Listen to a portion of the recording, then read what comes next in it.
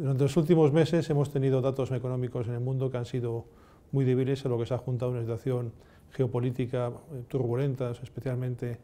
en términos de Brexit, guerra comercial y la cuestión italiana. Esto ha hecho que los inversores tengan un sentimiento negativo, pero realmente cuando miran los índices bursátiles en todo el mundo están en niveles muy altos e incluso algunos como los americanos están a 3% de máximos históricos. Este verano, a pesar de ese sentimiento que había de negatividad o de que las cosas estaban con una volatilidad muy alta, realmente el comportamiento de los mercados ha sido razonablemente bueno, especialmente con el sector bancario y sector de recursos básicos teniendo una, una rentabilidades por encima del 10%. Y como digo, el Eurostoxx 50 en el año está con una subida del 16%, el Nasdaq está con una subida del 24%, el SP500 con una subida del 20%, por tanto no podemos decir que el año esté siendo malo en comparación con los datos económicos tan negativos que estamos teniendo. Todo el debate económico se centra en si estamos en recesión, estamos en recesión, si estamos entrando o llegaremos a entrar durante el año 2020. Eso yo creo que va a provocar que en la segunda parte del año en general todos los bancos centrales, especialmente el Banco Central Europeo y la Reserva Federal, pues hagan medidas de expansión monetaria que consigan esquivar la recesión que previsiblemente se podía producir si no tuviéramos todos esos estímulos monetarios. Por otro lado, en términos del orden geopolítico, probablemente tengamos, especialmente cuando Trump le convenga pues, cuestiones electorales, empezar a solucionar el tema de guerra comercial y el Brexit sí o sí se tiene que llegar a una solución acordada. En el caso de Italia, yo creo que poco a poco las cosas se irán solucionando y lo está ya demostrando el mercado de renta fija.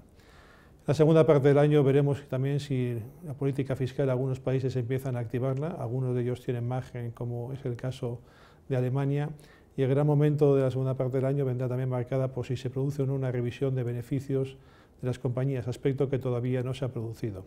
En cualquier caso, todo ese sentimiento negativo que se ha producido o esa entrada masiva que ha habido en el mercado de renta fija, yo creo que lo que puede provocar es que en la segunda parte del año, a pocos datos positivos que haga en términos económicos o que se resuelva cualquier conflicto político, podríamos ver los índices, en el caso americano, llegar a los máximos históricos y en el caso de Europa seguir avanzando. En el caso de Europa sería muy, muy importante que los tipos salieran de negativo. No tiene ningún sentido ver el boom por debajo, en términos negativos, por debajo del menos 0,70%, ese mínimo que ha marcado durante el verano, por tanto yo creo que debería volver a la zona del 0%, eso tendría un efecto muy positivo en bancos y yo creo que merece la pena seguir invertido en activos de riesgo, especialmente en Europa en comparación con Estados Unidos, donde se produce una diferencia de valoración muy importante.